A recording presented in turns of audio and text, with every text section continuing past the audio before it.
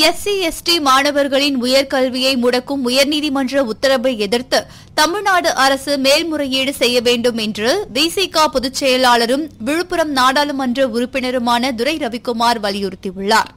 இது தொடர்பாக அவர் வெளியிட்டுள்ள சமூக வலைதள பதிவில் உயர்கல்வி பயிலும் எஸ்சி எஸ்டி மாணவர்களுக்கு போஸ்ட் மெட்ரிக் ஸ்காலர்ஷிப் என்ற கல்வி உதவித்தொகை வழங்கப்பட்டு வருவதாகவும் இந்த தொகையில் அறுபது சதவீதம் ஒன்றிய அரசும் நாற்பது சதவீதம் மாநில அரசும் கொடுக்கின்றன என்றும் ஒவ்வொரு ஆண்டும் எவ்வளவு மாணவர்கள் உயர்கல்வி நிறுவனங்களில் படிக்கிறார்கள் என்ற விவரத்தை மாநில அரசு ஒன்றிய அரசுக்கு அளிக்கும். அதன் அடிப்படையில் அந்த தொகை மாநில அரசுக்கு ஒன்றிய அரசால் வழங்கப்படும் என்றும் அந்த தொகையை ஒவ்வொரு கல்வி நிறுவனத்துக்கும் மாநில அரசு விடுவிக்கும் என்றும் தெரிவித்துள்ளார்.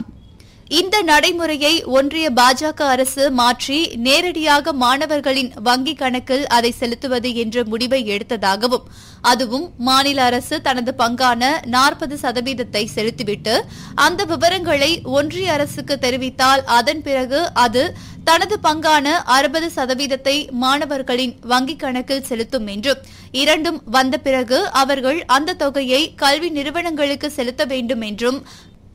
கடந்த இரண்டு ஆண்டுகளாக போஸ்ட் மெட்ரிக் ஸ்காலர்ஷிப்புக்கான தொகையை சுமார் ஆயிரத்து ஐநூறு கோடி ரூபாயை ஒன்றிய அரசு இதுவரை விடுவிக்கவில்லை என்றும் இதனால் சுமார் ஏழு லட்சம் எஸ்சி எஸ்டி மாணவர்கள் பாதிக்கப்பட்டுள்ளனர் என்றும் விடுதலை சிறுத்தைகள் கட்சியின் பொதுச் செயலாளரும் விழுப்புரம் நாடாளுமன்ற உறுப்பினருமான துரை ரவிக்குமார் குறிப்பிட்டுள்ளார். கல்வி உதவித்தொகை வந்தாலும் வராவிட்டாலும் நீங்கள் கல்வி கட்டணத்தை செலுத்த வேண்டும் என்று தனியார் கல்வி நிறுவனங்கள் மாணவர்களை நிர்பந்தித்தன என்றும் அவ்வாறு செலுத்தாத மாணவர்களை தேர்வு எழுத அனுமதிக்காமல் அவர்களது படிப்புக்கு தடை போட்டன என்றும் கட்டணம் செலுத்த முடியாத மாணவர்களின் கட்டணத்தை ஒன்றிய அரசும் மாநில அரசும் செலுத்த வேண்டும் என்று கேட்டு கல்வி நிறுவனங்கள் தொடர்ந்த வழக்கில் சென்னை உயர்நீதிமன்றம் ஒரு தீர்ப்பை இப்போது வழங்கியிருக்கிறது என்றும் அந்த தீர்ப்பு கல்வி நிறுவனங்களுக்கு ஆதரவாகவும் எஸ்சி எஸ்டி மாணவர்களுக்கு எதிராகவும் அமைந்துள்ளதாகவும் ஒன்றிய அரசும் மாநில அரசும் மாணவர்களுக்கு செலுத்த வேண்டிய கல்வி உதவித்தொகையை